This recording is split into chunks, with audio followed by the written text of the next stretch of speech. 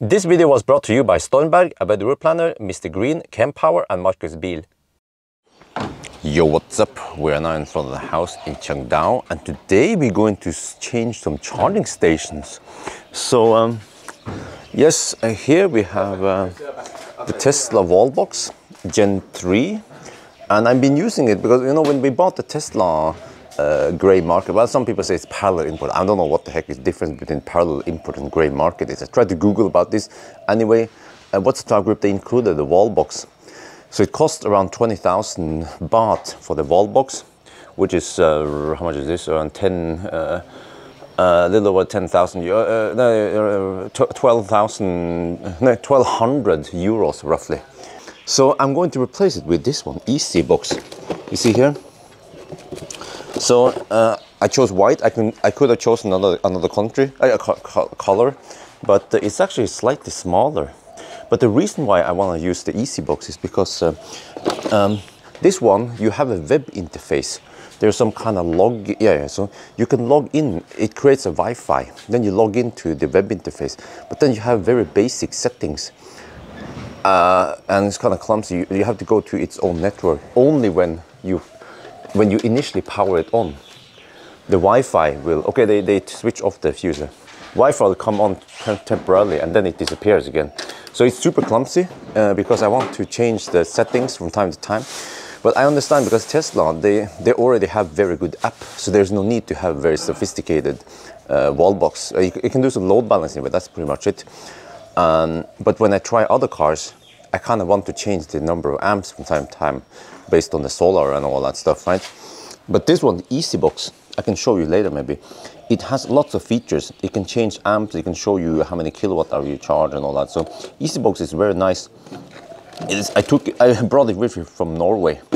So uh, I think these guys, they have never seen the EaseeBox, but they, they know how to do the electricity stuff. Actually, this is the EV Power Energy team from, uh, yeah, they, they were the guys uh, from Chiang Mai, the guys who install the solar panels. So yeah, this is, this is usually what happens. When you, um, when you hire an electrician in Norway, there's, there's one guy that comes over to do the work. When you hire uh, when you hire a or you request a task in Thailand, freaking six people comes over. so one guy is doing the job, and then the five other guys they're looking. No, they're actually helping him. Yeah. okay, so right now what we're gonna do is over here. This cable here has been uh, joined, and this one became really hot when I charged at only 16 amp I measured with a FLIR camera 85 degrees Celsius only here, not for the rest of the cable. And the installation here has been kind of messy. Uh, there was something was not done correctly here in the joint, so it was actually overheating. Uh, uh, a breaker, okay, I will show you. This is the old breaker.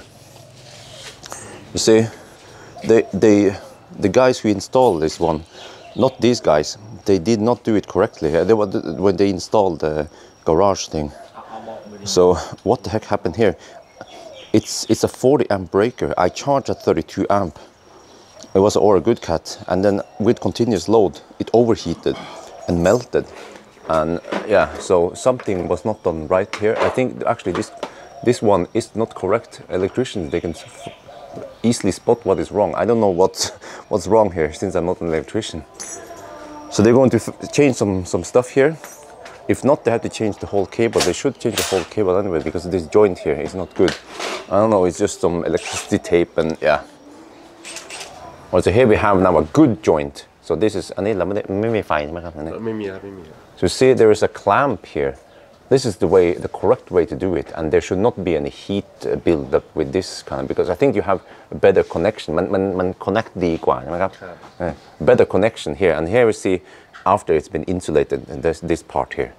So, all right, hopefully this is good. We should test it afterwards and run 32 amp here and see if it heats up or not.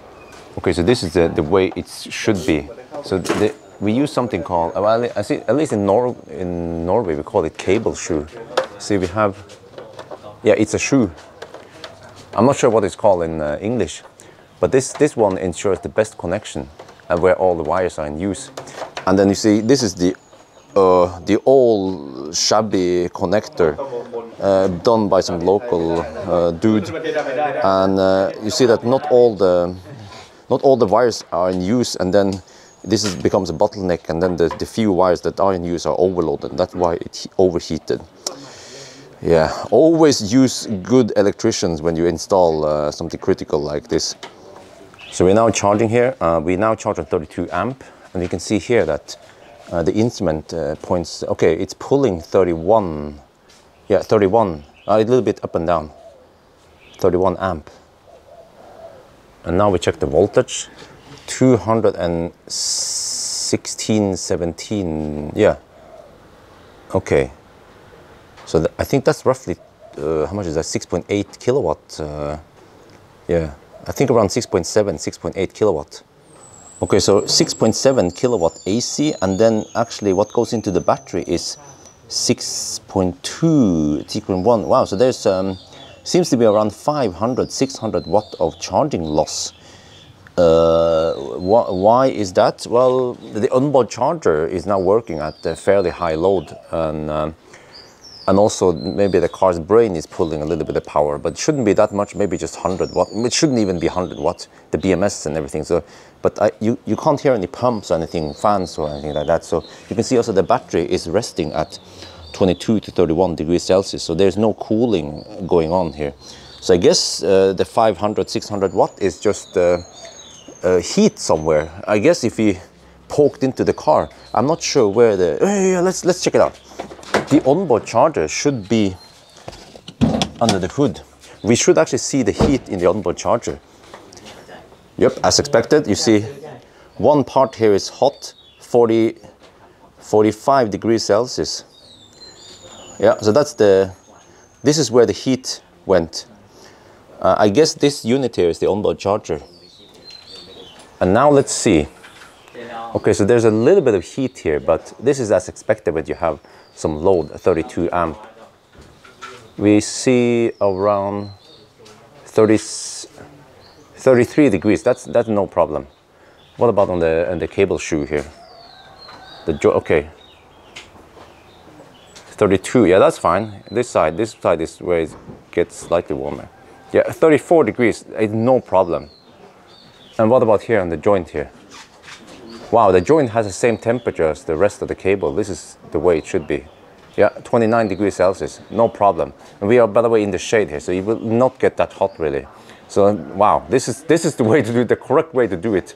Uh, the problem was that, I can explain that the old joint, there was like, it was a connection, right? But it was not good connection. There, there was some connectors had a slight gap and then there was arcing. So this tiny, tiny arcing made the heat, build up the heat. So you see, this is why you want to pay a little bit extra to get uh, good uh, electricians, not some shabby local electricians.